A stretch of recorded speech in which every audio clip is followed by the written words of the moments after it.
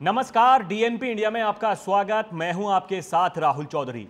बिहार में बीजेपी के fire brand नेता गिरिराज सिंह की हिंदू स्वाभिमान यात्रा चर्चा का विषय बनी हुई है। यात्रा की शुरुआत होते ही विरोध का आलम कुछ यूँ बढ़ा कि खुद बीजेपी ने इस यात्रा से किनारा कर लिया। बीजेपी के प्रदेश अध्यक्ष दिलीप जायसवाल ने इस यात्रा को निजी करार दिया। लेकिन इस यात्रा के विरोध के साथ साथ समर्थन में भी कुछ लोग खुलकर सामने आए। कुछ नेताओं ने बीजेपी के फायर ब्रांड नेता की हिंदू स्वाभिमान यात्रा को उनकी निजी यात्रा नहीं रहने दिया। तो क्या यह मान लिया जाए कि हिंदुत्व के बहाने फायर ब्रांड हिंदू चेहरे को बिहार की राजनीति में स्थापित करने की शुरुआत की जा रही है? क्योंकि इस यात्रा के पक्ष में आए बयानों को देखकर तो यही लगता है।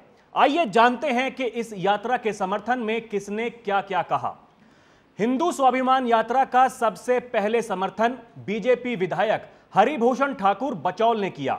ये वही हैं जो सीमांचल के कुछ जिलों के साथ पश्चिम बंगाल और झारखंड के कुछ जिलों को मिलाकर केंद्र शासित प्रदेश बनाने की मांग करते रहे हैं। हरिभूषण ठाकुर बचौल ने गिरिराज सिंह की यात्रा की सराहना करते हुए कहा कि इस देश का विभाजन धर्म के आधार पर हुआ था।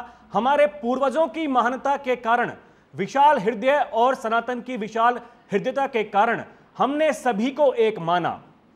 हिंदुओं को जगाने के लिए जो बांग्लादेश और पाकिस्तान में हुआ है, उसकी पुनरावृत्ति बिहार और देश में ना हो, यही कारण है कि गिरिराज सिंह ये यात्रा निकाल रहे हैं। बचौल के मुताबिक, जिन जिलों, विधानसभा या प्रखंड में 25 प्रतिशत से अधिक मुस्लिम आबादी हो गई है, वहाँ हिंदू के किसी भी वर्ग का जाति धर्म सुरक्षित नहीं है।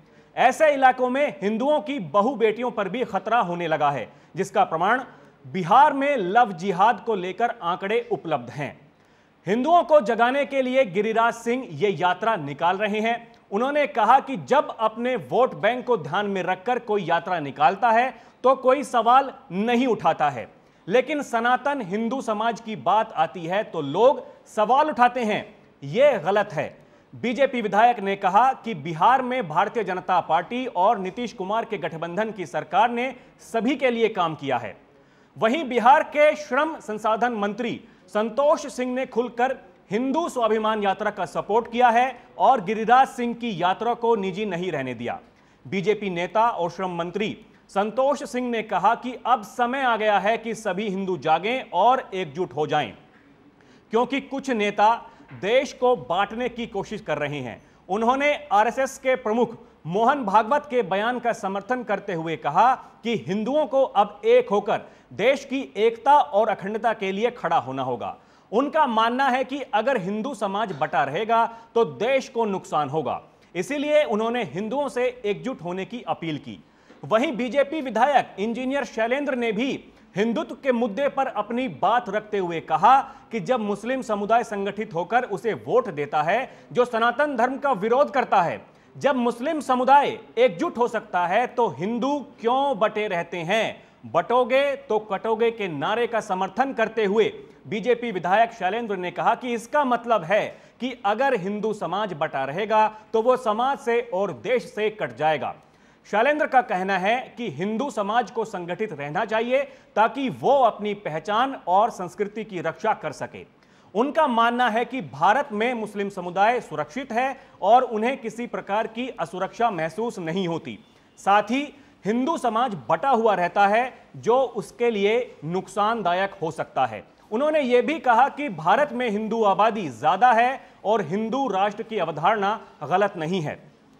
वहीं पिछड़ा वर्ग एवं अति पिछड़ा वर्ग कल्याण विभाग के मंत्री और बिहार विधान परिषद सदस्य हरी सहनी ने भी खुलकर हिंदू स्वाभिमान यात्रा का समर्थन किया है।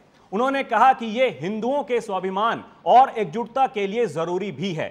यात्रा पर तो कई दल के नेता उतर चुके हैं और सब अपने अपने वोट बैंक को मज़बूत करने के लिए निकले हैं। ऐसे में हिंदू स्वाभिमान यात्रा पर सवाल उठाना गलत है। यह जातीय जकड़न से मुक्ति की जंग है। मैं इस यात्रा का स्वागत करता हूँ। तो देखिए, विरोध और समर्थन के बीच यह केवल हिंदू एकता का मसला नहीं रह गया है। जिस तरह से एक एक कर बीजेपी के शीर्ष नेता गिरिराज सिंह के समर्थन में आ रहे हैं, उसे बिहार में हिंदू चेहरे के उभार के रूप में देखा जा रहा है। दरअसल, बीजेपी के रणनीतिकार, राज्य के मुख्यमंत्री नीतीश कुमार के सामने हिंदुत्व के मुद्दे पर शुद्ध भाजपाई चेहरा परोसने लगे हैं। बीजेपी के अंदर खाने की माने तो फायर ब्रांड नेता गिरिराज सिंह के चेहरे को आगे कर भविष्य की राजनीति की नींव रखी जा रही है। हरियाणा की तरह ही हिंदुत्व के मुद्दे पर अकेले दम पर लड़ने की रणनीति है। अब बीजेपी के रणनीतिकार इस मामले में एक कदम आगे बढ़ चुके हैं। बीजेपी इस यात्रा के बहाने उन चेहरों को आगे कर रही है जिन चेहरों पर चुनाव लड़ा जा सकता है। हालाँकि इस यात्रा को एहतियात यात्रा के रूप में भी देखा जा सकता है। वो भी इसलिए कि नीतीश कुमार कब और किस तरफ़ चल पड़ेंगे कहना मुश्किल है। ऐसे में बीजेपी के पास मुख्यमंत्री का कोई चेहरा हो और उसे बिहार की बहुसंख्यक जनता का समर्थन मिल सके, यही इस समय भगवा खेमे की पूरी तैयारी है। अब आगे क्या होगा, उसका रहेगा इंतज़ार। अभी के लिए इतना ही, आप देखते रहें डीएनपी इंडिया। नमस्कार।